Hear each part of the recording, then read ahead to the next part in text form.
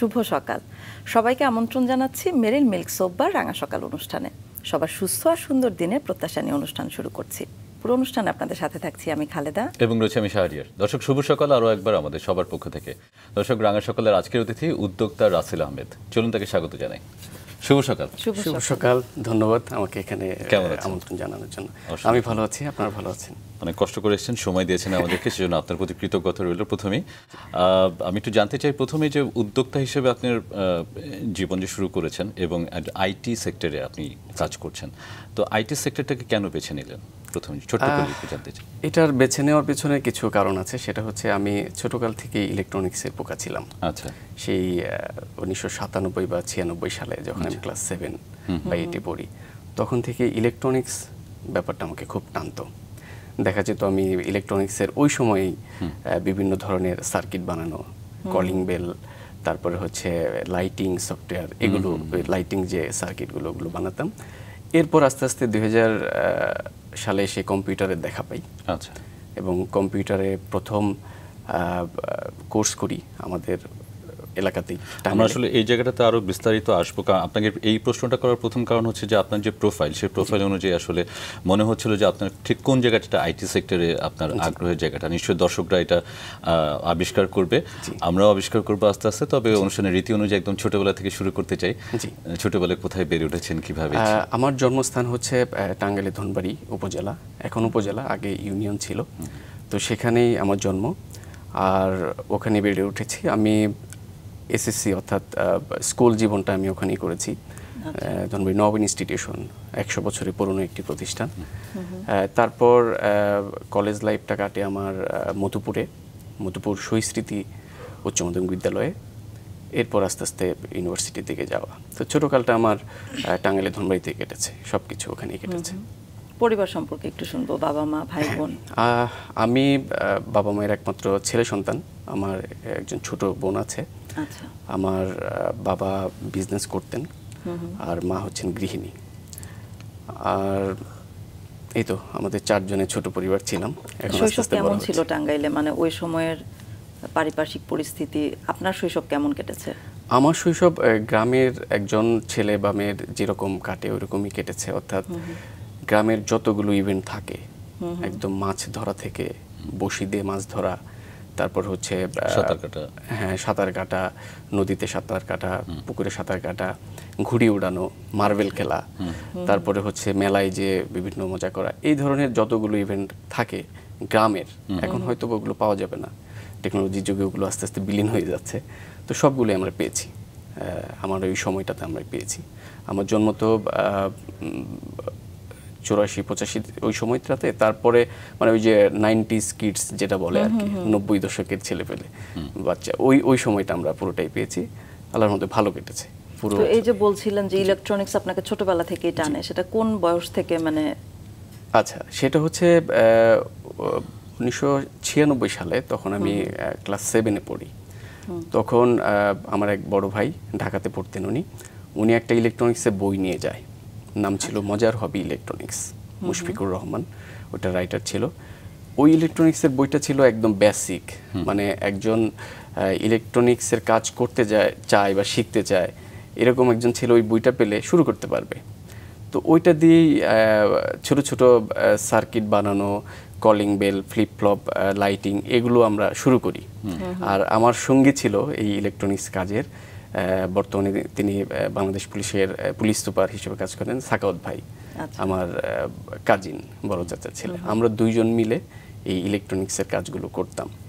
দেখা যেত যে বৃহস্পতিবার দুপুরের পর কয়েকটা ক্লাস ফাঁকি দিয়ে আমরা চলে যেতাম জামালপুর সদরে ইলেকট্রনিক্সের সরঞ্জাম কেনার জন্য। আচ্ছা। যে শুক্রবারে কোনটা বানাবো? বৃহস্পতিবারে চলে যেতাম যে ওখান থেকে ইলেকট্রনিক্সের বিভিন্ন পার্টস ট্রানজিস্টর আইসি টাইসি সব কিছু কিনে শুক্রবারে ওইটা আমরা একটা প্রজেক্ট দাঁড় করাতাম। আচ্ছা। আর বলতে পারেন যে ব্যবসা বা উদ্যোক্তা হওয়ার যে একটা স্বপ্ন তখন থেকেই কিছুটা ছিল। কারণ হচ্ছে ক্লাস এইটে পড়া অবস্থায় আমার এক ফ্রেন্ড আমার কাছ থেকে তার সাইকেলের জন্য একটা ব্রেক চাপলে যে একটা মিউজিক হয় হ্যাঁ, হ্যাঁ। ওই সময় তো এটা খুব ক্রেজ ছিল. ব্রেক চাপলে একটা মিউজিক হয়। আমি ওকে ওইটা বানিয়ে দিয়েছিলাম। আচ্ছা। তখন আমি ক্লাস সেভেনে বা এইটে পড়ি। তো ওইটার দাম নিয়েছিলাম একশো টাকা। আচ্ছা। ওইটা কীভাবে বানিয়েছিলাম? প্রথমে একটা সার্কিট বানাই। সার্কিটটা বানাতে আমার মনে হয় চল্লিশ টাকার মতো খরচ হয়েছিল। একটা স্পিকার কিনি দশ টাকা দিয়ে। ওই স্পিকার এখন এটা কিসে ঢোকাবো? তখন তো আর আহ, পাটুয়া টুলি চিনি না বা ইলেকট্রনিক্সে বড় কোনো মার্কেট চিনি না।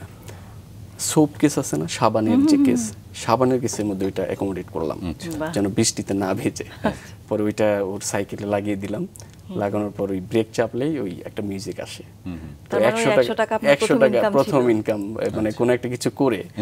হ্যাঁ তখন আমার খরচ হয়েছিল আশি টাকার মতো খরচ হয়েছিল। বিশ টাকা প্রফিট হয়েছিল ওই সময়। এইভাবেই মানে ছোটকালটা আহ, বলা চলে যে পড়াশোনার চেয়ে এই এক্সট্রা কারিকুলার অ্যাক্টিভিটিসগুলোতে বেশি সময় দিতাম সব সময় আচ্ছা আচ্ছা আচ্ছা। আমরা আপনার পরের গল্পগুলো শুনব কিন্তু তার আগে আপনার সম্পর্কে ছোট্ট করে দর্শকদের জানিয়ে আসতে চাই। দর্শক আমাদের আজকের অতিথি রাসেল আহমেদ সিস্টেমাই টেকনোলজিস লিমিটেডের প্রতিষ্ঠাতা এবং সিইও। ছোট বড় সব উদ্যোক্তাদের জন্য একই জায়গায় বিভিন্ন প্রযুক্তি সেবা দিচ্ছে। তার তথ্য প্রযুক্তি নির্ভর এই প্রতিষ্ঠানটি। এই উদ্যোগের আওতায় উদ্যোক্তারা সিস্টেমাই টেকনোলজিসের ওয়েবসাইট থেকে ডিজিটাল বিপণন ওয়েবসাইট তৈরি প্রযুক্তিপূর্ণ কেনা সহ ডিজিটাল কন্টেন্ট তৈরি করতে পারবেন। এছাড়া প্রতিষ্ঠানটি ই বর্জ্য ব্যবস্থাপনা নিয়েও কাজ করছে। রাজশাহী বিশ্ববিদ্যালয়ের দর্শন বিভাগ থেকে স্নাতক ও স্নাতকোত্তর শেষে মিডিয়াসফট ডেটা সিস্টেমস লিমিটেডে কর্মজীবন শুরু করেন আমাদের আজকের অতিথি রাসেল আহমেদ। পরে এক্সিকিউটিভ টেকনোলজিস লিমিটেডে ডেপুটি ম্যানেজার, গোল্ডবার্গ মোবাইলে চিফ সেলস অফিসার এবং সর্বশেষ বসুন্ধরা গ্রুপের টগি সার্ভিস লিমিটেডের হেড অফ সেলস পদে দায়িত্ব পালন করেন তিনি। জুনিয়র চেম্বার ইন্টারন্যাশনাল ঢাকা হ্যারিটেজের বর্তমান সভাপতিও তিনি। ফিরছি তার গল্পে। ছোটবেলার গল্পে ছিলাম। তো যেহেতু ছোটবেলা থেকে আপনাকে এই ইলেকট্রনিক্স ডিভাইসগুলো অনেক বেশি টানতো পড়াশোনা করেছেন কি নিয়ে? মানে আমাদের এসএসসির আগে তো একটা ব্যাপার থাকে সায়েন্স আর্টস কমার্স তখন পড়াশোনা কি নিয়ে করা হয়েছিল? আমার পড়াশোনাতে ছোটকালে একটু কম সময় দিতাম। তো আচ্ছা। আমি আর্টস নিয়ে পড়াশোনা করেছি প্রথমেই। আর্টস নিয়ে পড়াশোনা করেছি দুই হাজার সালে আমার এসএসসি হয় টু থাউজেন্ডে এসএসসি হয়। তো দুই হাজার সালে তখন মনে হলো যে আমার মনে হয় সায়েন্স নিয়ে পড়লে এই টেকনোলজি রিলেটেড আরেকটু বড় পড়াশোনা করা যেত বা ইলেকট্রনিক্স রিলেটেড আরেকটু বড় পড়াশোনা করা যেত। সেটা যেহেতু হয়নি তারপরেও প্রযুক্তিকে সবসময় পাশেই রাখতাম।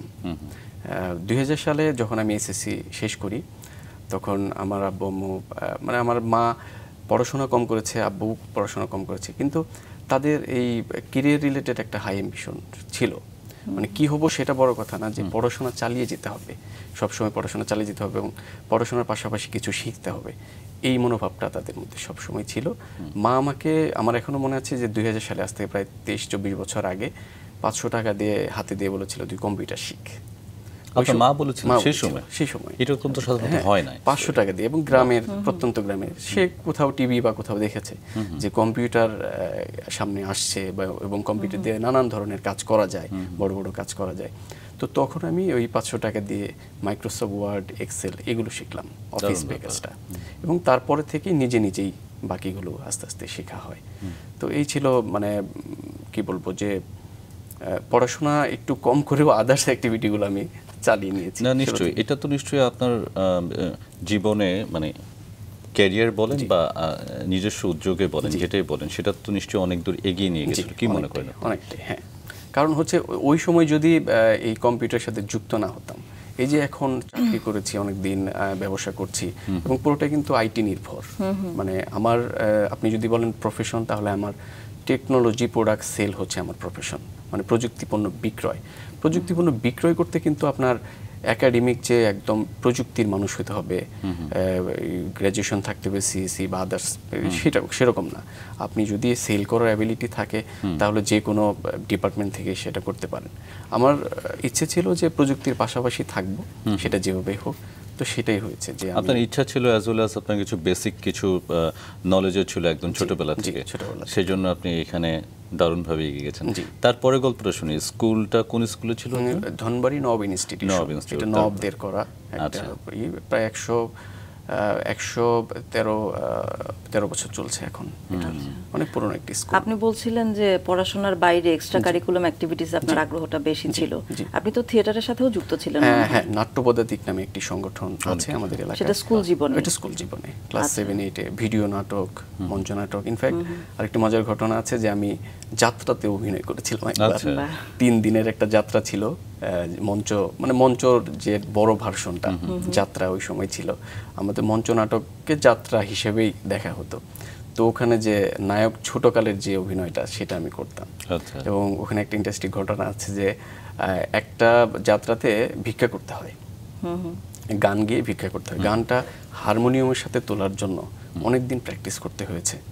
যে হারমোনিয়ামের সাথে মিলিয়ে গান গাওয়া আমরা তো কখনো গান শিখিনি ওইভাবে। তো যখন আমি ওইটা পারফর্ম করলাম যাত্রাতে রাতে অনেক রাতে রাত বারোটার পরে যখন পারফর্ম করলাম প্লেট নিয়ে আমি ওই ভিক্ষা দাও এরকম একটা গান প্রচুর টাকা।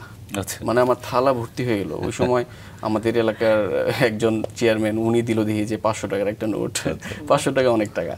তো প্রচুর টাকা পেয়েছিলাম ওই গানটাকে ওই আচ্ছা। থালার মধ্যে। পরে ওই ওই টাকা দিয়ে কাপড় চোপড় কেনা আরও আদার্স অনেক কিছুই করেছি। তো এরকম মানে সব সময় চেষ্টা করেছি পড়াশোনার পাশাপাশি কিছু একটা করে যাওয়া। সবসময় টানতো এই ব্যাপারটা। অভিনয়টা তাহলে কেন কন্টিনিউ করা হয় অভিনয় কন্টিনিউ করিনি আহ, আস্তে আস্তে তো তারপরে তো ইলেকট্রনিক্স আর ওই ইয়ের পোকে ঢুকে গেল কম্পিউটারের পোকে ঢুকে গেল। বাট ইউনিভার্সিটি পড়ার পরে আমার ইচ্ছে ছিল যে আমি প্রেজেন্টার বা কোনো একটা কিছু হব। এই জন্য বিজেমে একটা কোর্স করেছিলাম পাঠশালাতে একটা কোর্স করেছিলাম ওই সময়। কিন্তু কেন জানি হয়নি কারণ ওই জীবন জীবিকার টানে আস্তে আস্তে ওই দিকে ঢুকে গিয়েছি। তো আপনি ইউনিভার্সিটি পড়তেন রাশিয়া ইউনিভার্সিটি সেখানকার আপনি কেমন ছিল আপনার একটু শুনি। শুরুতে একটা ডিজাস্টার হয়েছিল ইউনিভার্সিটি চান্স পাওয়ার ক্ষেত্রে। প্রথম বছর ওই এইচএসসিতে অর্থাৎ ইন্টারমিডিয়েটে একটু ভালো রেজাল্ট হয়। তারপরে আমরা একটু কয়েকজন ফ্রেন্ড মিলে একটু কি বলব যে পড়াশোনা থেকে আর একটু দূরে সরে গিয়েছিলাম। তো প্রথম বছর যেটা হয়েছে যে কোনো ইউনিভার্সিটিতে চান্স পেলাম না। আচ্ছা। খুবই একটা হতাশাজনক একটা সময় একটি বছর। সবাই জিজ্ঞেস করতো কি পড়াশোনা বাদ দিয়ে দিলা নাকি? এই ধরনের একটা সময় গিয়েছে প্রথম এক বছর। আমি আমার বন্ধু নয়ন লালন এরকম বেশ কয়েকজন ছিল ওই ক্যাটাগরিতে আবার কয়েকজন চান্স পেয়েও গেল বিভিন্ন জায়গাতে। তো ওই হতাশা থেকেই আস্তে আস্তে যেটা করলাম আমরা এক বছর তো আর বসে থাকা যাবে না। তো ওই এক বছর ইউনিভার্সিটি ভর্তি হওয়ার আগে যেন আমার টাকা দিয়ে আমি ইউনিভার্সিটিতে ভর্তি হতে পারি যেন বাড়ি থেকে টাকা নিতে না হয়। এই জন্য আমি আর আমার ফ্রেন্ড মিলে একটি কম্পিউটারের দোকানে অপারেটরের চাকরি নিলাম। আচ্ছা সে দুই তিন সালে যে অপারেটর অর্থাৎ আমি হচ্ছে সকাল দশটা থেকে দুপুর দুইটা পর্যন্ত অপারেটর। অপারেটর মানে হচ্ছে একদম ফুল সুইং অ্যাপ্লিকেশন লিখে দিতে হতো মানুষকে প্রশ্নপত্র লিখে দিতে হতো টাইপিং এর মতো জব Typing এর যত ইয়ে কিন্তু Excel এর যত কাজ। Excel এর যত কাজ। ওই সময় এটাকে অনেকেই ছোট হিসেবে দেখতো যে আরে অপারেটর এরকম। কিন্তু এটার ইম্প্যাক্ট আমার সারা জীবন আমি পাচ্ছি। ওই সময় যে আমি স্কিলগুলো অর্জন করেছি এক বছরে। তো বারোটা একটা পর্যন্ত আমি থাকতাম। আর আমার বন্ধু থাকতো হলো নয়ন ও এখন বাংলাদেশ পুলিশে আছে। ও থাকতো দুপুর থেকে রাত পর্যন্ত। দুইজন মিলে ষোলোশো টাকা আমরা স্যালারি ড্র করতাম। আচ্ছা। প্রতি মাসে মানে আটশো আটশো ষোলোশো। তো এই টাকা একটা ব্যাংক অ্যাকাউন্ট করে জমিয়ে রাখতাম। কারণ ইউনিভার্সিটিতে যেতে হবে পড়াশোনা করতে হবে এই জন্য। আপনি খুব দূরদর্শী ছিলেন। হ্যাঁ। হ্যাঁ, মানে মানে হ্যাঁ, ফ্যামিলিরও একটাই ছিল যে কারণ আমার বাবার ছোট একটি ব্যবসা প্রতিষ্ঠান ছিল রেস্টুরেন্ট ছিল। এমন না যে অনেক বেশি টাকা পয়সা আছে বা টাকা পয়সার ক্রাইসিসও আমরা অনেক দেখেছি। আব্বা আম্মুর। আর আমার ছোট বোনও পড়াশোনা করতো একই সাথে। তো দুইজনের পড়াশোনা চালানোর গ্রামের মতো একটা জায়গায় একটা রেস্টুরেন্ট করে খুব কঠিন ছিল ওই সময়। তারপর নিজেরটা নিজেই অনেক সময় ম্যানেজ করতে হতো অনেকে সহযোগিতা করতো। এরপর ইউনিভার্সিটি চান্স পেলাম রাজশাহী বিশ্ববিদ্যালয়ে কয়েকটা সাবজেক্টে একই সাথে। পরে দেখলাম যে ফিলোসফি আমার কেন যেন মনটা টানলো যে এখানে ভর্তি হই। সে দুই হাজার তিন চার সেশন ওই সময়টাতে। পরে ইউনিভার্সিটি ভর্তি হলাম। ভর্তি হওয়ার সময়ও কিন্তু সবাই একটা জিনিসই করতো। মানে গ্রামে তো এখনও আছে। এটা তাদের দোষ না। এটা হচ্ছে যে সাবজেক্টের উপর ভিত্তি করে কেরিয়ারের একটা ভবিষ্যৎবাণী করে ফেলতো সবাইকে হ্যাঁ? কোন সাবজেক্টের উপর দর্শন। ও তাহলে তো বাবা তুমি কিছু করতে পারবে না।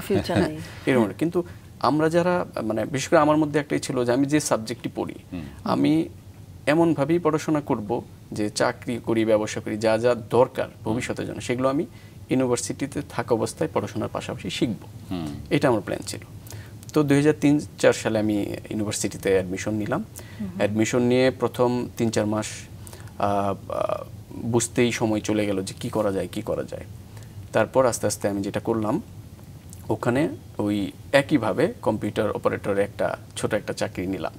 যেন কিছু খরচ ওখান থেকে আসে। কারণ ক্লাস তো আর সারাদিন হয় না। মাঝে মাঝে গ্যাপ পাই। তো কয়েকদিন ওখানে করার পর রাজশাহী বিশ্ববিদ্যালয়ে খুব বড় একটি সংগঠন আছে কেরিয়ার ওরিয়েন্টেড অর্থাৎ ওই ক্লাব কেরিয়ার ক্লাব টাইপের এটার নাম হচ্ছে রাজশাহী বিশ্ববিদ্যালয় পাঠক ফোরাম। আচ্ছা। আপনারা অনেকেই দেখবেন মিডিয়াতে এই ওখানকার সদস্য ছিল। ওই সংগঠনটা বিশ্ববিদ্যালয় থেকে পেট্রন করে বিশ্ববিদ্যালয়ের জায়গার মধ্যে বড় একটি রুম অফিস করা আছে। আচ্ছা। এবং এইটাতে আমি যুক্ত হলাম। যুক্ত হওয়ার পরে এটা মূলত হচ্ছে যারা সরকারি চাকরি করতে চায় তাদের জন্য এক ধরনের ক্লাস নিজেরাই ক্লাস নেয় নিজেরাই ক্লাস করায়। তারপর যারা বেসরকারি করতে চায় তাদের জন্য আইটি শিক্ষা এবং উপস্থাপনা প্রেজেন্টেশন এগুলো ওখানে আছে। তো আমি প্রথম বর্ষ থেকে ওখানে সদস্য হয়ে গেলাম। আচ্ছা আমি তখন কি করি যে পড়াশোনা করি পড়াশোনার পাশাপাশি ওখানে আবার কম্পিউটারের ক্লাস নেই। আচ্ছা ফার্স্ট ইয়ার থেকে। আচ্ছা। শুরুতে এটা খুব প্রবলেম হতো যে আমি এমএস ওয়ার্ড এক্সেল তো অনেক আগেই শিখেছি মানে অফিস প্যাকেজটা তখন তো এটাই মানুষ শিখতো তাই না. ওইটা তো এখন এখন তো এটা যদি কেউ সিবিতে লেখে মাইক্রোসফট ওয়ার্ড এক্সেল ব্রাউজিং এগুলো হাসাহাসি হয়। আর এটা তো এখন প্রাথমিক জ্ঞান। কিন্তু ওই সময় কিন্তু ভাইয়া। ওই সময় কিন্তু ভাইয়া মানে এমএস ওয়ার্ডে কাজ পারে ভালো পাওয়ার পয়েন্টে এক্সেলে কাজ পারে এরকম লোকজনও কম ছিল। খুবই কম হ্যাঁ তো ওই সময় আহ, প্রথম বর্ষের আমি স্টুডেন্ট কিন্তু আমি ওই পাঠক ফোরামে কম্পিউটারের ক্লাস নিতে যাই। আচ্ছা। শিখতে না। নিতে যাই। যে দেখি স্টুডেন্টরা সব মাস্টার্সের আপু এম বি এর আপু দেখে আমাকে একটু ই করে আর এই ছোট ছেলে কি শেখাবে? কোথায় ভর্তি হলাম? এরকম একটা ব্যাপার। তো অফিস কোর্স ওখানে শেখানো হইতো অনেক কম খরচে। তো ক্লাস দুই তিনটা নেওয়ার পর আবার আমার প্রতি তাদের ইটা আস্থাটা যে না এরা এ কিন্তু মোটামুটি শেখাতে পারবে। এবং এখন টিচার হয়েছে অনেকেই আছেন যে আমার স্টুডেন্ট ছিল। মানে ওই পাঠক ফোরামে বাহ। এখনও গেলে দেখা হয়। আমার ডিপার্টমেন্টে ভাই আছেন একজন উনিও টিচার হয়ে গেছেন কিন্তু আহ, আমার কাছে কম্পিউটার শিখেছে। তো এইভাবেই আমি এই পড়াশোনার পাশাপাশি ওখানে প্রচুর সময় দিতাম। দারুণ এই দেখা যেত যে আহ, আপনি একটা উদাহরণ দিই। এই আমরা প্রতিষ্ঠানের জন্য পিআর লিখি। নিউজ লিখি তাই না? এখন তো লিখতে হয় এবং এটার জন্য তো একটা ডিপার্টমেন্ট থাকে বড় প্রতিষ্ঠানে। পিআর প্রতিষ্ঠান হ্যাঁ। আমি যখন সেকেন্ড ইয়ারে পড়ি তখন থেকে আমি পিআর লিখতাম। যে আমাদের পাঠ্যক্রমে একটা প্রোগ্রাম হয়েছে সেটা সাংবাদিকদের অনুরোধ করতাম একটা লিখিত আকারে যে আমাদের গত এত তারিখ একটা প্রোগ্রাম হয়েছে। প্রেস রিলিজ এই প্রেস রিলিজ লেখা কিন্তু একটু কঠিন ছিল। অবশ্যই, হ্যাঁ। বাট আমি এটা সেকেন্ড ইয়ার থেকে লিখি। যেটা এখন অনেক বড় প্রতিষ্ঠানেও দেখা যায় যে অনেক বড় কর্মকর্তা লিখতে পারে না। কিন্তু তখন থেকে লিখি। এটা কিন্তু হয়েছে সেই সংগঠনটা করার কারণে। এই যে একটা কেরিয়ার ওরিয়েন্টেড সংগঠনের সাথে থাকার জন্য এটা হয়েছে। এরপর হচ্ছে প্রেজেন্টেশন প্রোগ্রাম প্রেজেন্টেশন কোনো একটা প্রোগ্রামকে থ্রো করতে হবে অডিটোরিয়ামে হলভর্তি মানুষ। এই জিনিসগুলো না ওই ওখান থেকেই শেখা। যেটা এবং মিটিং মিনিটস যেটা আমরা বলি। এখন তো মিটিং মিনিটস বলে আমরা বলতাম মিটিং রেজলিউশন রেজলিউশন যে একুশ সদস্য বিশিষ্ট একটা কমিটি ওখানে একটা প্রোগ্রাম করবে সেটার জন্য একটা মিটিং হলো। মিটিং একটা রেজলিউশন লেখা। সেটা কিন্তু আমরা সেই ফার্স্ট ইয়ার সেকেন্ড ইয়ারে করে আসছি। সব কিছুই কিন্তু কর্পোরেট চাকরি বা সরকারি চাকরির ভিতরের সাথে রিলেটেড কিন্তু একটা মিনি ভার্সন আমরা তখনই পেয়েছি আল্লাহ রহমতে। প্র্যাকটিসটা তখনই শুরু প্র্যাকটিসটা তখনই হয়েছে। সংগঠনটা এখন আছে? রাজশাহী এখনও পাঠক এখনও আছে এখনও আছে। খুব বড় একটি সংগঠন। আপনি এটা নিয়ে প্রচুর নিউজ আছে প্রচুর বড় বড় যত গুণীজন আছেন সবাই গিয়েছে বিভিন্ন সময় বিভিন্ন প্রোগ্রামে। আর ওখান থেকে বের হয়ে বিসিএস ক্যাডার বলেন তারপর হচ্ছে সরকারি কর্মকর্তা বলেন সব জায়গাতে। আর ওটার প্রতিষ্ঠাতা আরিফ হাসনাত ভাই। বর্তমানে বিএডব্লিউটি এর বড় একটি পদে আছেন ডিরেক্টর পদে আছেন। উনি কিন্তু আহ, এই পাঠক ফোরামের প্রতিষ্ঠাতা। আচ্ছা। এখনও জানুনি এবং সরকারি এই যত বড় বড় প্রোগ্রাম উনি করেন। এবং ওনার ডিপার্টমেন্টে উনি যথেষ্ট সংগঠক হিসেবে যথেষ্ট সুনামের সাথে কাজ করেন। এই পাঠক ফোরামের সাথেই কি আপনার সাংগঠনিক অ্যাক্টিভিটিস শুরু হ্যাঁ রাজশাহী বিশ্ববিদ্যালয়ে। আচ্ছা। আর তার আগে আরেকটি প্রতিষ্ঠান ছিল আমাদের এলাকায় আমরা করেছি সেটা হলো তরুণের হাট নামে একটি সংগঠন ছিল। এটাতেও আমরা এখনও আছে। এটাতেও কিন্তু সাংগঠনিক চর্চা প্রচুর করতাম। বিভিন্ন সময়ে প্রোগ্রাম এই যে জাহিদ হাসান মুশারফ করিম ভাই সবাই এই প্রোগ্রামে গিয়েছে। এই তরুণ হাটের যে প্রোগ্রাম আমাদের টাঙ্গাইলের সবাই গিয়েছে। আর এই পাঠক ফোরামের সুবাদে যেটা হয়েছে যে আমাকে চাকরির জন্য মানে বিন্দু পরিমাণ বেগ পেতে হয়নি। চাকরি পাওয়ার জন্য চাকরি করার জন্য।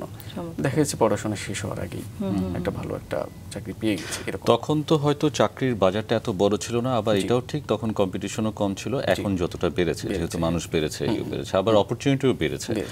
তো নতুন যারা যারা জব মার্কেটে ঢুকতে যাচ্ছে জি। এখন যারা শিক্ষার্থী অথবা যারা পাশ করেছেন এদের মধ্যে একটা হতাশা দেখা যায় যে তারা তাদের ডিজায়ার জবটা পাচ্ছে না। জি। সেই ক্ষেত্রে তাদের প্রতি আপনার কোনো পরামর্শ রয়েছে কিনা? ওই সেটাই হয় যে পড়াশোনার পাশাপাশি আহ, কোন সেক্টরে আমি জব করতে চাই? প্রাইভেট না সরকারি না বেসরকারি? সেটা নির্ধারণ করে না শুরুতেই। হ্যাঁ। আচ্ছা। বেশিরভাগ স্টুডেন্ট নির্ধারণ করে না। আচ্ছা। যেমন আমি আহ, সেটা শুরুতেই কবে নির্ধারণ করা উচিত সেটা তো সেকেন্ড ইয়ার ফার্স্ট ইয়ারেই করা উচিত। মানে year আমি সেকেন্ড ইয়ারেই ডিসাইড করেছিলাম আমাকে দিয়ে সরকারি চাকরি হবে না আমি বেসরকারি চাকরি করব। তখন ওই যে টেলিকমগুলো আসলো তাদের সব কিছু দেখে অফিস টফিস দেখে ওখানে যারা চাকরি করতো খুব গর্জিয়াস একটা অবস্থা ছিল।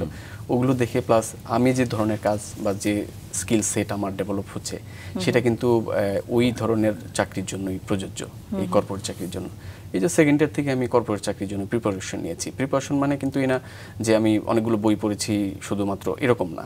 আমি হচ্ছে কাগজে কলমে না হাতে কলমে যে আমি এটা শেখা দরকার এটা বলা দরকার তাহলে আমার ওই এইভাবে শিখতে হবে। প্রতি বছর একবার দুইবার ঢাকাতে আসতাম। এসে ওই পাঠ্যক্রমের যারা সাবেক সদস্য তাদের অফিসে যেতাম। অফিস এনভায়রনমেন্টটা কীভাবে কাজ করে কি ধরনের অ্যাক্টিভিটি তারা করে আহ, একদম লিফটে ওঠা থেকে শুরু করে সবই কিন্তু লিসন যারা স্টুডেন্ট যে লিফটে উঠলে কথা বলা যাবে না ফোনে কথা বলা যাবে না চুপচাপ থাকতে হবে হ্যাঁ? এই- এই যে কি বলব যে ছোট ছোট কার্টিসিগুলো এগুলো কিন্তু সেই শুরু থেকেই আহ, শিখেছি। বাট এখনকার যারা তারা হচ্ছে ওই ফোকাসটা থাকে না। শুরুতে চিন্তাই করে না যে সরকারি চাকরি করবে না বেসরকারি চাকরি করবে। পরে যখন দেখে যে সরকারি চাকরি হয় না তখন বেসরকারি চাকরির পেছনে দৌড়ায়। তো সব কিছু মিলে না ডিসাইড করতে পারে না মানে ফোকাস থাকে না। এবং একটা স্কিল সেট ডেভেলপ করতে হবে সেটা সরকারির জন্য হোক বেসরকারির জন্য হোক সেটা হয় না। সফট স্কিল ডেভেলপমেন্ট ডেভেলপ করার জন্য আসলে কি কি করা উচিত বলে মনে করেন আহ, আমার মতে যদি সাংগঠনিক দক্ষতা মানে ম্যানেজেরিয়াল স্কিল যেটা আমরা বলি কর্পোরেটের ভাষায় এটার জন্য প্রচুর সংগঠন করতে হবে। এটা শুধুমাত্র যে এই পাঠক ফোরামের মতো সংগঠন এমন না আপনি কবিতা আবৃত্তি সংগঠন করতে পারেন নাট্য কলা টাইপের সংগঠন করতে পারেন মানে যে কোনো হ্যাঁ, আপনি হচ্ছে ডিবেট সোসাইটিতে যুক্ত হতে পারেন। এতে হয় কি যে মানুষের সামনে কথা বলা তারপর হচ্ছে বড় ভাইদের সাথে যে একটা যোগাযোগ। কারণ প্রত্যেকটা প্রতিষ্ঠানেই তো অ্যাডভাইজার থাকে একটা সিনিয়র লেভেলের একটা গ্রুপ থাকে। এই যে তাদের সাথে যে ইনফরমেশনের আদান প্রদান যে হ্যাঁ এই তুমি কিন্তু যদি ঢাকাতে আসো তোমার কিন্তু শিখে আসতে হবে। এই জিনিসগুলো কিন্তু তখন থেকেই পাওয়া যায়। হ্যাঁ কিন্তু এইটাতে যুক্ত থাকলে ম্যানেজিয়াল স্কিলটা ডেভেলপ করবে। আর প্রযুক্তিগত যত যা যা দরকার ধরুন ঢাকা থেকে যদি গুগলে সার্চ দিই যে আমার কেরিয়ারের জন্য কি কি জানা দরকার যেটা আসবে রাজশাহী থেকে সার্চ দিলে তো একই জিনিস আসবে। এমন তো না যে রাজশাহী বিশ্ববিদ্যালয় পিছানো এবং তারা গ্রামে এই জন্য এই- এই জন্য কিন্তু গুগল কিন্তু তাকে অন্য তথ্য দিবে না। একই তথ্য দিবে। তাহলে সেই তথ্যগুলো নিয়ে ফোকাস করে প্রতিদিন প্র্যাকটিস করা বন্ধুদের সাথে যে এই জানা দরকার। লিখনিটা এরকম হতে হবে বলার ধরনটা এরকম হতে হবে এই এই দক্ষতারা জানা দরকার। এগুলো দেখে কিন্তু সেই সেকেন্ড ইয়ার থেকে যদি শুরু করে অনেক সময় চার বছর পাঁচ বছর একটা জব পাওয়ার জন্য। সেই বিশ্ববিদ্যালয় অনেক সুন্দর যদিও আমার যাওয়ার সৌভাগ্য হয়নি। এবং ওখানে গেলে মানুষ অটোমেটিক রোমান্টিসিজমে ভোগে। হ্যাঁ, তো আপনার জীবনের একটু রোমান্টিসিজমের কোনো গল্প ইউনিভার্সিটি লাইফের একটু যদি অবভিয়াসলি আছে কিন্তু সেটাও বলছি যে ওই যে পাঠক ফোরাম করা অবস্থায় তো ওই দিকে সময়টা একটু কম দেওয়া হয়েছে। রাজশাহীতে পশ্চিম পাড়া নামে একটা জায়গা আছে। মেয়েদের হলের দিকে। তো ওই দিকেও কম যাওয়া আচ্ছা তুমি ভালো জানো হ্যাঁ, মেয়েদের হাল কোন দিকে না? ওইদিকে। ওইদিকে গেলে তোমাকে যেতেই হবে মানে। প্রেম ভালোবাসা করে ওইদিকে যায় না এরকম হয় না। আচ্ছা। তো আমরাও একেবারে যেতাম না তা না মাঝে মাঝে যেতাম। আর আমার যে এখন আমার ওয়াইফ সেও রাজশাহী বিশ্ববিদ্যালয়ে আমারই ব্যাচমেট ছিল আচ্ছা। ডেইজি ডিজিকে ওখান থেকে ধরে নিয়ে আসছি রাজশাহী বিশ্ববিদ্যালয় থেকে। আহ, আর আপনি যেটা বলছিলেন যে রাজশাহী ইউনিভার্সিটির প্রত্যেকটা জায়গায় খুবই চমৎকার প্রাকৃতিক পরিবেশ বলেন খাওয়া দাওয়া থেকে শুরু করে চলাফেরা করতে খুবই ভালো লাগে সবার। তো আমার ওই জায়গাতেও একটা ফুলফিলমেন্ট আছে যে আমি একজন আমার সহধর্মিনীকে আমি ওখান থেকেই ধরে নিয়ে আসছি। আল্লাহর মতে ভালো আছি। ওই ওই ওই দিকটাতে মানে ইউনিভার্সিটি আমাকে সব দিয়েছে সব দিক থেকেই সব দিয়েছে। হ্যাঁ। হলে থাকতেন তো হলে থাকতাম। আচ্ছা। আমি সোরারদি হলে থাকতাম। আচ্ছা আচ্ছা হলের জীবনে কি দেখলেন? হলের জীবনে আমরা তো হলটা পেয়েছি একটু পরে কারণ তখন তো ক্রাইসিস ছিল সিটের ক্রাইসিস ছিল। আমরা থার্ড ইয়ারে যে হল পাই। তো হলের জীবনটাও বেশ ভালো কেটেছে বিশেষ করে ওই যে ক্যান্টিনে খাওয়া এবং আর সব সময় না প্রত্যেকটা জায়গার ছেলেপেলেকে খুবই একটা পোলাইট আচরণ করতাম যে হলের বয় তার সাথে যে ই করতে হবে মানে তা সেও আমার বেশ ভক্ত ছিল। দেখা যেত যে আমি যদি খাবার খেতে যেতাম মাছের একটা ভালো পিসটাই আমাকে দিত হ্যাঁ? মানে এটা মানে ভালোবেসে দিত অন্য কোনো কারণ ছিল না। তারপর হচ্ছে হল লাইফে ওই সময় তো জানেন যে বিভিন্ন ধরনের রিয়েলিটি শো হতো। এবং আমরা টিভি দেখা থেকে শুরু করে পেপার রুমে সময় কাটানো গেম রুমে সময় কাটানো এগুলো খুব ভালোভাবে আপনি যেটা বলছিলেন যে মানুষের সাথে কমিউনিকেশনের আসলে যে সব জায়গা আপনি যত জায়গা পেয়েছেন সবগুলোই আপনি আপনি সেটা ইউটিলাইজ করেছেন। একই সাথে হলে থাকাটাও একটা বড় একটা অপরচুনিটি আপনার জন্য। সেখান থেকেও নিশ্চয়ই আপনার পাবলিক কমিউনিকেশন এবং ম্যানেজারিয়াল স্কিলও অনেক বেড়েছে। খুব চমৎকার। মানে আপনি স্কুল মানে স্কুল কলেজ ইউনিভার্সিটি লাইফে আসা পর্যন্ত আপনি নিজেকে গড়ে তুলেছেন সেই জায়গা থেকে। সবগুলো সুযোগই আপনি দু হাত আল্লাহর মধ্যে পেয়েছি। দুহাত মানে মুঠো ভরে নিয়ে নিয়েছেন আর কি। আদায় করে নিয়েছেন। খুব চমৎকার। তারপরে আপনি চাকরিতে জয়েন করলেন। হ্যাঁ চাকরিতে জয়েন করা হয়েছে আমার ইচ্ছে ছিল মাস্টার্স করে আসব রাজশাহী বিশ্ববিদ্যালয় থেকে। কিন্তু সেটা হয়নি। মানে মাস্টার্স করেছি অনিয়মিতভাবে। সেটা হচ্ছে অনার্স পাশ করার পর মানে অনার্স পরীক্ষা দেওয়ার পর রেজাল্টের আগেই একটা ছোট দুর্ঘটনা ঘটে। সেটা হচ্ছে আমাদের ব্যবসা প্রতিষ্ঠান পুড়ে যায়। এই দুই হাজার সাতের দিকে ব্যবসা প্রতিষ্ঠান পুড়ে যায় এবং আমরা আর্থিকভাবে যথেষ্ট একটা বিপর্যয়ের মুখে পড়ি। ওই সময় আমার ছোট বোন মনিরা ও কিন্তু আমার সাথে রাজশাহী বিশ্ববিদ্যালয়ে পড়ে। আমরা দুইজনই রাজশাহী বিশ্ববিদ্যালয়ের স্টুডেন্ট তো ও আমার দুই বেস্ট জুনিয়র ছিল। তো ওই সময়টাতে এই রেস্টুরেন্ট দিয়ে তো আমরা চলতাম। আমার আব্বু তো রেস্টুরেন্ট করেই আমাদেরকে খরচটা দিত। ওই সময় খরচের জায়গাটা নিয়ে খুবই ইয়েতে পড়ে যাই। তখন যেটা করি যে অনার্সের পরেই আমি ঢাকাতে চলে আসি। চলে এসে দেখলাম যে একটা সফটওয়্যার ফার্ম বেশ তখন ভালো করছে মিডিয়া সব ডাটা সিস্টেম ওখানে যোগাযোগ করলাম। তাদেরকে আমি বললাম যে আমি এই কাজ জানি। কারণ তো জানি। এমন না যে আমি বানিয়ে বলছি। আমি জানি আমি বললাম যে আমি এই কাজ জানি আমার সাথে রিলেটেড যদি কোনো কিছু হয় তাহলে আমাকে কাজটা দিতে পারেন। তখন সেলস এক্সিকিউটিভ হিসেবে আমি ওখানে কাজ শুরু করি। সেলস এক্সিকিউটিভ হিসেবে কাজ শুরু করলেও যেহেতু টেকনোলজির বেশ কিছু জিনিস আমার জানা হয়েছে ইউনিভার্সিটিতে পর অবস্থায় আমি একটা ডিপ্লোমাও করেছি এনআইটি প্রতিষ্ঠান থেকে। তারপর হচ্ছে ন্যাশনালিটি প্রজেক্টে টিম লিডার ছিলাম। ইউনিভার্সিটি পর অবস্থায় কয়েক মাস ওখানেও জব করেছি। সব কিছু মিলে আমি একদম কম একটা স্যালারিতে আমি জয়েন করলাম যে আমার চাকরির এক্সপিরিয়েন্সটা নিতে হবে এখান থেকে এবং শিখতে হবে। তো দেখা যেত সেলসে কাজ করলেও আমি সাপোর্টের কাজও করতাম। মানে টেকনিক্যাল কাজগুলো আমার করতে হতো পারতাম বলে করতে হতো। এবং আমি এটা এনজয় করতাম যে আমি যত করব তত শিখব। এমনও হয়েছে যে ওরা সুপার স্টোরগুলোর সফটওয়্যার দিত বিভিন্ন বড় বড় সুপার স্টোর।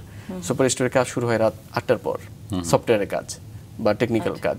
আটটার পর কাজ শুরু করে রাত বারোটা পর্যন্ত আমি কাজ করতাম ওখানে সাপোর্টের কাজ। কিন্তু আমি কখনো ক্লান্ত হইনি। মনে হয়েছে যে আমি এই পার্টটা করছি মানে এই পার্টটা আমি শিখছি। তো তারপরে আমি ইউনিভার্সিটি থেকে চলে আসলাম। মাস্টার্স না দিয়েই একটা ফ্যামিলি ব্যাকগ্রাউন্ড এই সব কারণে। তারপর অনার্স যখন শেষ রেজাল্ট হলো রেজাল্ট মোটামুটি ভালো ছিল। তারপর চাকরি এক বছর করে আমি মাস্টার্স পরীক্ষা দিতে গেলাম। ইউনিভার্সিটিতে আবার ব্যাক করলাম। কিন্তু পরীক্ষা দিতে যে দেখি যে একটা নির্দিষ্ট সংখ্যক ক্লাস না করলে পরীক্ষাটা দেওয়া যাবে না। ঠিক আছে? মানে এটা একটা নিয়ম ছিল ওই সময়। পরে আমার কয়েক মার্কস কম ছিল মানে ওই কয়েকটা এই ক্লাস কম ছিল। হয়তো পাঁচটা দশটা ক্লাস করলে আমার হয়ে যেত আরও। তো এই সময় একটা বেনিফিট আমি পেয়েছি আজকে বলতে হচ্ছে সেটা হচ্ছে আমার ডিপার্টমেন্টের যারা ক্লার্ক ছিল যারা সেকশন অফিসার ছিল সবাইকে আবার আমি কম্পিউটার শিখাইতাম একটা সময়। ডিপার্টমেন্টের কম্পিউটার উইন্ডোজ বা আদার্স নষ্ট হলে আমাকে ডাকতো। আমাদের শ্রদ্ধেয় কয়েকজন টিচার ছিলেন তারা ডিপার্টমেন্টের তারা কম্পিউটার রিলেটেড ইস্যুতে আমাকে বাসায়ও ডাকতো আবার অফিসে ডাকতো। তো দেখি যে একজন সেকশন অফিসার ওইটা ই করছে অ্যাকাউন্ট করছে। পরে সে আমার দিকে বলল যে আপনার তো কম আছে এটা তো ই হবে না। পরে ওনারা বিশেষভাবে কীভাবে একটা ব্যবস্থা করে বিশেষ বিবেচনা বিশেষ বিবেচনায় তারাই কিন্তু রিকমেন্ডেশন দিয়েছে দিয়ে আমাকে মোটামুটি পরীক্ষা দেওয়ার একটা সুযোগ করে দেয়। এরপর মাস্টার্সের শেষে তো আস্তে আস্তে আবার ঢাকায় চলে আসি। তো এই ধরনের মানে খুব একটা যে আহ, অনেক কিছু পেয়ে বা রেগুলার একটা জীবনযাত্রা এরকম না। ক্রাইসিস সব সময় ছিল অভাব অনটন সবসময়। সব সময় ছিল কারণ আমরা এত বড় ফ্যামিলির মানুষ ছিলাম না। আর দুইজন পড়াশোনা করার কারণে ফ্যামিলির উপর প্রেশারটাও ছিল বেশি। আমরা দুইজনই পড়াশোনা করেছি প্রেশার ছিল। আমার ছোট বোন এখন আইসিডিডির বৃত্তে কাজ করছে। মোটামুটি ভালো আছে। আচ্ছা আচ্ছা চমৎকার। তো আপনি যে বলছিলেন যেখানে সেলস এক্সিকিউটিভ হিসেবে আপনি জয়েন করলেন সেখানে কতদিন ছিলেন? ওখানে এক বছরের বেশি ছিলাম। আচ্ছা। তারপরে মাস্টার্স করে এসে আমাকে আর ওখানে জয়েন করতে হয়নি। আমি ওই বাংলাদেশে এসআর ল্যাপটপের যে অফিসিয়াল পার্টনার এক্সিকিউটিভ টেকনোলজিস ওখানে ইন্টারভিউ দিলাম। আচ্ছা। আরও কয়েকটা ইন্টারভিউ দিলাম। আমার একটা রেকর্ড আছে যে এক সপ্তাহে আমার চারটা চাকরি হয়েছিল। একই সাথে। মানে যে কয়টা ইন্টারভিউ দেই ওই এক দুই বছর এক্সপিরিয়েন্স চাই এরকম সবগুলিতে হয়ে যায়। পরে দেখলাম যে এক্সিকিউটিভ টেকনোলজিস তখন এসআর ব্র্যান্ডটাকে নিয়ে খুব মানে মানে খুব কাজ করছে। পরে ওইটাতে জয়েন করলাম। আচ্ছা। ওইটাতেও একটা সেলসে জয়েন করলাম। ওইটা একটা ইন্টারেস্টিং ঘটনা আমি ওটাতে এক্সিকিউটিভ হিসেবে সিভি ড্রপ করেছিলাম। স্যালারিও বেশ খুব একটা বেশি ছিল না। জয়েন করার পরে ইন্টারভিউ কয়েকবার ইন্টারভিউ হওয়ার পরে তারা আমাকে জয়েন করে দিল অ্যাসিস্ট্যান্ট ম্যানেজার হিসেবে। আচ্ছা। এবং মতিঝিল একটা এরিয়া ছিল যে মতিঝিল কর্পোরেটে আপনি অ্যাসিস্ট্যান্ট ম্যানেজার এবং টেক কেয়ার করবেন কর্পোরেটটা আমি তখন মতিঝিল খুব দিলকুশা খুব একটা চিনি না। অনেক অফিসে গিয়েছি এমনও না। কিন্তু আমি তাদেরকে একটা কথা বলেছিলাম ইন্টারভিউতে যে আমি ডোর টু ডোর ভিজিট করে আপনার এই সেলটা বুস্ট করব এই যে ডোর টু ডোর ভিজিট এইটা তাদের মাথায় খুব নক করেছিল যে তাহলে তো স্ট্রাগল করার মতো অ্যাবিলিটি আছে। তো আমি চিনি না জানি না আমি অ্যাসিস্ট্যান্ট ম্যানেজার আমার একটা সেলস টার্গেট আছে। সব কিছু মিলে আমি মতিঝিল যেয়ে আস্তে আস্তে যেটা করলাম প্রতিদিন সকালবেলা অফিসে এসে এতগুলো ব্রোশিওর নিয়ে বের হতাম। আচ্ছা। ওই যে ল্যাপটপের ব্রোশিওর আমার ভিজিটিং কার্ড বিশ পঁচিশটা নিয়ে বের হতাম।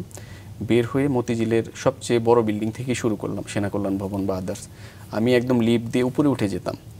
একদম টপে। উঠে যে এক ফ্লোর করে নামতাম আর একটা করে অফিসে যেতাম। ডোর টু ডোর ভিজিট যেটাকে বলে।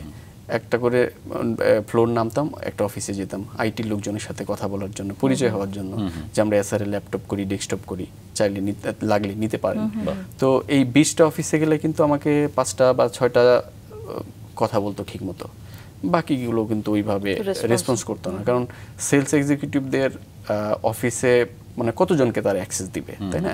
এই এই ইন্স্যুরেন্স আসতেছে ইন্স্যুরেন্সের সেলসের লোক আসতেছে আবার এই পানি বিক্রয়ের সেলস আসতে ওইভাবে ডিফারেন্সিয়েট করার কোনো উপায় নেই। তো বেশিরভাগ জায়গা থেকেই একটু অনেকটা বিতাড়িত টাইপ আরে এখন ভাই কেউ নাই পরে আসেন। এই টাইপের একটা কথা। কিন্তু তারপরেও আমি বলতাম যে অ্যাটলিস্ট নামটা বলেন। যে আইটিতে কে আছেন? বলতো যে হ্যাঁ কবির সাহেব আছেন বা অমুক সাহেব আছেন। আমি কি করতাম অফিসে পৌঁছে ফোনে ফোন দিতাম অফিসিয়াল ফোনে। আমি এক্সিকিউটিভ টেকনোলজিস থেকে বলছি একটু কবির সাহেবকে দেবেন খুব জরুরি কথা আছে। তখন তো না করতে পারতো না। হ্যাঁ তখন তার সাথে পরিচয় হইতাম যে আপনার অফিসে গিয়েছিলাম আমার একটা ভিজিটিং কার্ড দিয়ে আসছি আপনি একটু দেখেন যদি লাগে আপনার ইমেল আইডিটা দেন আমি মাঝে মাঝে ল্যাপটপের অফার পাঠাবো। এইভাবে তিন মাসের মধ্যে আমার ভিজিট ছিল আটশো অফিস এটা কর্পোরেটের ইতিহাসেও একটা ই ব্যাপার যে তিন মাসের মধ্যে আটশো অফিস ভিজিট আমার ডাটাবেজ এখনও আছে। কবে কোন অফিসে গিয়েছি কার সাথে কথা হয়েছে সব ডাটাবেজ আছে। তিন মাস পর আমার আর বসে থাকার মতো অবস্থা ছিল না। সেলটা এত শুরু হয়ে গেল ল্যাপটপ। তখন ওই হেড অফিসে যারা বসতো গুলশানে তারা আমাকে গালি দিত যে তুই এত ভিজিট করিস এত সেল করিস এদিকে তো আমরা চাপের মধ্যে থাকি। সব সময় কারণ সেলসের কাজই তো হচ্ছে সেল করা। টার্গেট ফুলফিল না করতে পারলে তো আপনার মিটিংয়ে বকা খেতে হবে বসের কাছে বকা খেতে হবে। তো শুরু থেকে আমি এই মানে শুরুর যে ভিজিট করি যে আমি মানে এটা করে ফেলেছিলাম। চ্যাম্পিয়ন সেলসম্যান হ্যাঁ, হিসেবে নিজেকে প্রতিষ্ঠিত করে ফেলেছেন। করে ফেলেছিলাম। আস্তে আস্তে তারাই কিন্তু এখন পর্যন্ত আমার ক্লায়েন্ট ওই যে প্রথম আটশো ভিজিট করলাম ওখান থেকে পঞ্চাশ ষাট জন ক্লায়েন্ট হলো। বড় বড় অনেক প্রতিষ্ঠান ব্যাংক ইন্স্যুরেন্স আমার ক্লায়েন্ট এখনও ক্লায়েন্ট চমৎকার। মানে আপনার আসলে আগ্রহ যতটা ছিল হ্যাঁ। মানে জানার আর শেখার আগ্রহ যতটা ছিল ঠিক ততটাই আপনার করার আগ্রহ ছিল। আগ্রহ ছিল। কারণ আমার যেটা কাজ ছিল আমার সেল করা। সেল না করলে আমাকেও স্যালারি কোথা থেকে দিবে? বা মানে বিজনেস তো চালায় সেলসের মানুষ। মানে মূল রেভিনিউ তো এখান থেকে আসে তাই না? ব্যাক অফিসের কাজ না তো এটা। তো আমার ই ছিল যে আমি যেহেতু চিনি না জায়গাটা আমি চিনবো এবং সেল করব। সেটাই হয়েছে। মানে পরের তিন চার বছর আমি তাদের কাছেই সেল করেছি। আমার নতুন করে আর ভিজিট করতে হয়নি। ওখানে তো সেলসে চ্যাম্পিয়ন হলেন। এরপরে আরও দুটো জায়গায় আপনি চাকরি মানে করছেন গোলবার্গে এবং এক্সিকিউটিভে চাকরি করা অবস্থায় আমার এক ক্লায়েন্ট হ্যাঁ। আমাকে নিয়ে একটি বিজনেস শুরু করল গোলবার্গ মোবাইল খানসন্স গ্রুপ আচ্ছা, উনি হচ্ছে যে আমার সেলস এবিলিটি দেখেই বলল যে আপনি যদি সেলস হেড হিসেবে জয়েন করেন তাহলে শুরু করব। তো মোটামুটি প্রত্যেকটা চাকরিতেই আমার বেশ বড় একটা সুইচিং ছিল মানে স্যালারির দিক থেকে প্রায় আচ্ছা। দুই গুণ তিন গুণ দিয়ে আমি জয়েন করতাম। তো ওখানে জয়েন করলাম। জয়েন করে ওখানে তিন বছরের মতো থাকলাম। আচ্ছা।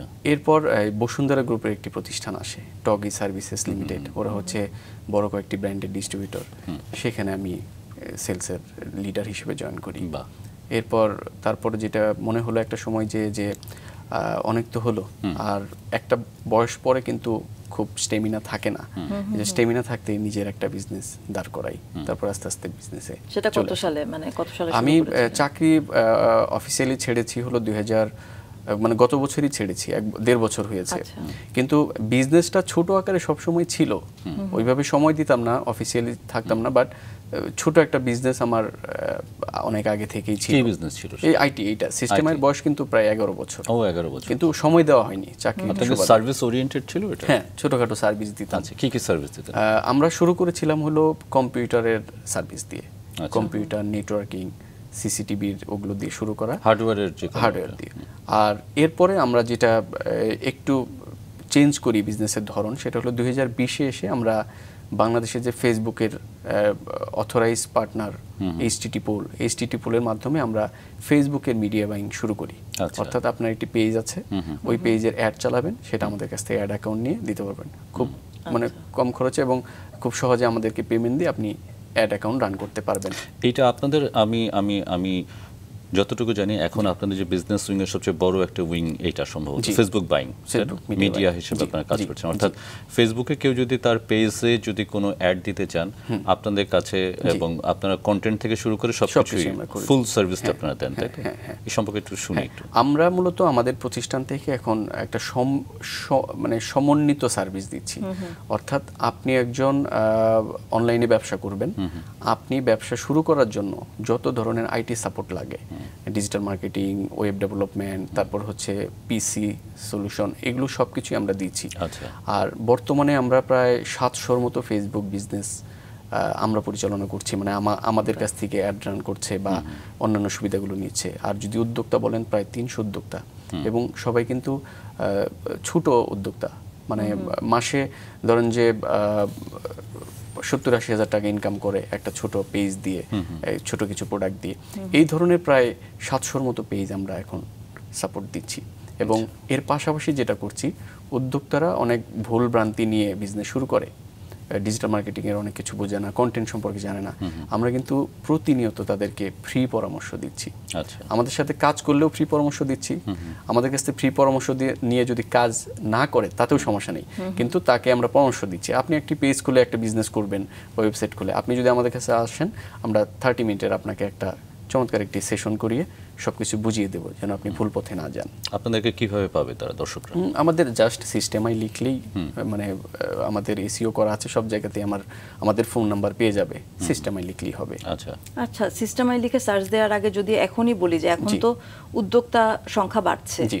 মানুষ চেষ্টা করছে তো আপনি যেটা বলছিলেন যে অনেক। ভুলভ্রান্তি নিয়ে শুরু করে। জি। আমার পরামর্শ হচ্ছে আমাদের গত সাতশো পেজ পরিচালনা করার পর আমরা যেটা দেখলাম আহ, আমাদের উদ্যোক্তারা না বুঝে অনেক কিছু না বুঝে প্রোডাক্ট না বুঝে সার্ভিসের ধরন না বুঝে ক্লায়েন্টের চাহিদা না বুঝে কিন্তু শুরু করে। তাদের কাছে টাকা থাকে কিন্তু টাকা হলেই তো বিজনেস হবে না হ্যাঁ? তো কিছুদিন বিজনেস হয় তারপরে যখন মাঝখানে বিজনেস হয় না বা সেলটা যখন কমে যায় তখন কিন্তু তারা ডিমোটিভেটেড হয়ে যায়। তারা কিন্তু আর কাজ করতে চায় না। এই জন্যই আমাদের মানে আমাদের দিক থেকে সবসময় বলি আপনি যে কোনো ব্যবসা শুরু করার আগে আপনার পণ্যটা কি আপনার সার্ভিসটা কি সেটা আগে আপনি রিসার্চ করেন। দুই মাস তিন মাস ছয় মাস। অন্যরা কীভাবে দিচ্ছে? আমি কীভাবে দিচ্ছি? অনলাইন ব্যবসা কিন্তু অন্যান্য ব্যবসার থেকে খুব একটা আলাদা না। ট্রেডিশনাল ব্যবসার মতোই। শুধু এখানে আপনার অ্যাপ্রোচটা হচ্ছে অনলাইনে হ্যাঁ তো তারা এই পণ্য না বুঝে সার্ভিস না বুঝে ফেসবুকে তো একটা পেজ খোলা সহজ। খুলেই সিও হয়ে একটা বিজনেস শুরু করে। দেখা যায় যে মাঝপথে তারা আটকে যাচ্ছে। আমার মতে যে আগে পণ্যটা বুঝতে হবে আমি কি পণ্য বিক্রি করতে চাই এটার চাহিদা কেমন এটার প্রতিযোগী মার্কেটে কারা কারা আছে সেই তুলনায় আমি বাজেটটা করতে পারব কিনা। আপনি ফেসবুকে ধরুন আজ থেকে দশ বছর আগে দুই হাজার বারোতে আমরা যখন ফেসবুকে অ্যাড রান করতাম তখন খরচ কম ছিল ডলারের ছিল পঁয়ষট্টি টাকা। তারপরে দশ ডলার খরচ করলে ষাট হাজার মানুষ দেখতো একটা অ্যাড এখন দশ ডলার খরচ করলে সর্বোচ্চ পাঁচ হাজার মানুষ দেখে সাত হাজার মানুষ দেখে। তো এই যে খরচটা বাড়ছে সেই তুলনায় কিন্তু সেল যে হামরি বেড়েছে এমন না। তাই না? আবার আপনার কম্পিটিটর কমেছে এমন না। কম্পিটিটর তো বাড়ছে। এই জন্য এখন অনলাইন ব্যবসা শুরু করতে চাইলে আগের মতো একেবারে না জেনে শুরু করা যাবে না। কম্পিটিশন দেখে শুরু করতে হবে। আপনি যদি প্রতিযোগীকে এটা না জানেন প্রতিযোগীরা কি করছে এটা না জানেন আপনি ভালো করতে পারবেন না। আপনার প্রোডাক্টে যদি চাহিদা না থাকে আপনার প্রোডাক্ট যদি সমাজের বা অর্থনীতির কোনো একটা বা ভোক্তার কোনো একটা সমস্যার যদি সমাধান না করে তাহলে সেই প্রোডাক্ট কিন্তু আপনি ভালো করতে পারবেন না। তো আমাদের সাথে যারা কাজ করে তাদের আগে কেস স্টাডি করি।